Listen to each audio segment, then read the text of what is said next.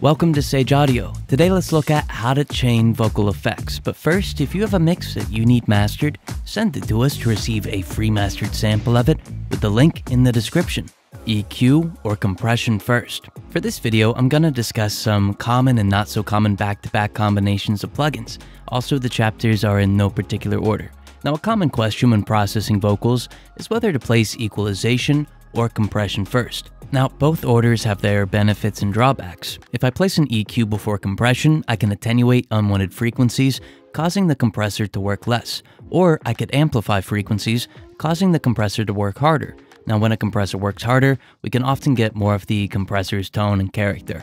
Now if I compress first and then EQ, the EQ curves will be affecting more dynamically controlled frequency ranges, meaning it may be easier to pull something forward. If the compressor uses makeup gain though, it might be harder to attenuate unwanted frequencies. Let's take a listen to EQ before compression, used to amplify wanted frequencies, and notice how the compressor has to work a little harder.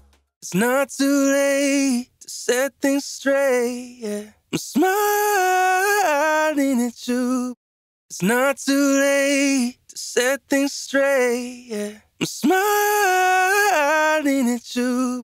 Creating saturation with two effects. Saturation is a combination of soft knee compression and harmonic distortion, which we can recreate using the two effects separately. Typically, the compression aspect will occur first, so let's introduce this along with some makeup gain, and then distort the signal in turn, introducing harmonics. If we want, we could introduce an EQ after the distortion to mimic the frequency response of tape or tube saturation, but let's take a listen to just the first two processors that we discussed. It's not too late to set things straight. Yeah. I'm smiling at you. It's not too late to set things straight. Yeah. I'm smiling at you. If you're enjoying the video, hit the like button and subscribe if you haven't already. It's free and it helps us bring in more videos. Saturation followed by upward compression. One of my favorite processor combos on vocals is saturation, which includes downward compression and harmonic distortion, followed by upward compression. Upward compression will compress quieter parts of the signal and then amplify them, meaning the harmonics that we generated with the saturation become more apparent and detailed. Let's take a listen to upward compression after saturation and notice how full the vocal becomes. It's not too late to set things straight, yeah. I'm smiling at you. It's not too late to set things straight. Yeah, I'm smiling at you. Emphasis de-emphasis technique. Like we discussed in chapter 1, an EQ can be placed before a processor to emphasize frequencies prior to subsequent processing. For example, if we want a saturator to add more presence to a vocal, we could emphasize 2.5 kHz with the EQ prior to saturation. Then to balance the signal, we would de-emphasize that range with another EQ after the saturator. Let's take a listen to this technique. It's not too late to set things straight, yeah. I'm smiling at you. It's not too late to set things straight, yeah. I'm smiling at you. Short reverb, then long reverb. When we think about reverb on a vocal, we typically imagine a longer stylized one like a bright plate or a hall, but room emulation is also really important. That's why I like to first use short reverb with dense reflections to make the vocal thick or sound more natural depending on the settings. Then I'll introduce longer reverb to give the vocal more of an identity. Let's take a listen and notice how these two effects complement one another. It's not too late to set things straight, yeah. I'm smiling at you. It's not too late to set things straight. Yeah. I'm smiling at you. Thick delay, then long reverb. If we want a less natural sound, maybe one reminiscent of classic recordings, we can replace the room emulation that we used last chapter with a short delay. This is going to make the vocal sound more impressive, but won't have the realism of room emulation.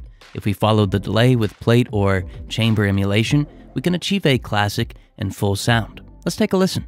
It's not too late to set things straight. Yeah. I'm smiling at you. It's not too late to set things straight. Yeah. I'm smiling at you. EQ, tuning, then saturation.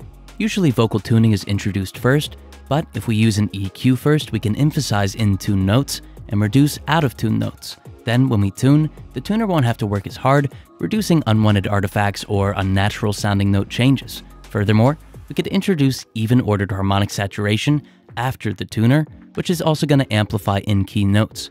Let's take a listen to a vocal tuned with these three processors. It's not too late to set things straight. Yeah. I'm smiling at you. It's not too late to set things straight. Yeah. I'm smiling at you. If you're enjoying the channel, use the search box to watch more of our videos. Soothe 2, then vocal tuning.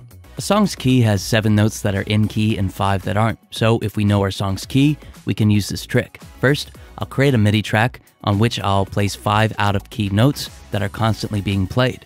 I'll use sine waves for the instrument to reduce harmonics. Then, I'll mute this track and use it as the external sidechain for Soothe 2, which will be inserted on the vocal. Soothe 2 is going to attenuate these frequencies since it'll measure them as being too aggressive, resulting in a vocal with less out of key notes. If we follow this with a tuner, then the same concepts that we covered in the last chapter are going to apply here. Let's take a listen to these plugins being used in this manner and notice how the vocal sounds more in tune and the tuner doesn't have to work as hard. It's not too late to set things straight. Yeah. I'm smiling at you. It's not too late to set things straight. Yeah. I'm smiling at you compression, and dynamic EQ. If we compress our vocal and use makeup gain, we bring quieter details forward while controlling dynamics. Now, of course, the more aggressive the settings, the more attenuation, but also the more amplification of a low-level signal. If we compress aggressively and follow it with expansion, we'll enhance our vocals. With a dynamic EQ, we could pinpoint which frequency ranges that we want to expand, how aggressively they're expanded, and which frequencies are affected the most by adjusting the Q value. So let's take a listen to about 8 to 10 dB of compression with makeup gain, followed by expansion via a dynamic EQ, and notice how if we expand important vocal frequency ranges, we get detailed, controlled, and upfront vocals. It's not too late to set things straight. Yeah. I'm smiling at you. It's not too late to set things straight. Yeah. I'm smiling at you short compression, and long compression. Last up, let's talk about combining compression in series. Now the attack and the release of a compressor controls a lot about the sound. If we set the attack to 2 milliseconds and the release to 50 milliseconds, we'll get dynamic control that's relatively transparent since the level is returned to unity quickly. If we follow this compressor with a compressor that has a softer knee to trigger compression at quieter levels, an attack of 10 milliseconds, and a long release, we can smooth out our vocals as well as contribute to controlling dynamics. So, the first compressor cleanly controls dynamics, whereas the second one shapes the timbre, but doesn't need to be used too aggressively since compressor 1 did most of the heavy lifting. So let's take a listen to how this controls the dynamics and shapes the timbre. It's not too late to set things straight. Yeah. I'm smiling at you. It's not too late to set things straight. Yeah. I'm smiling at you. If you have a mix that you need mastered, send it to us to receive a free mastered sample of it with the link in the description. Thank you so much for watching.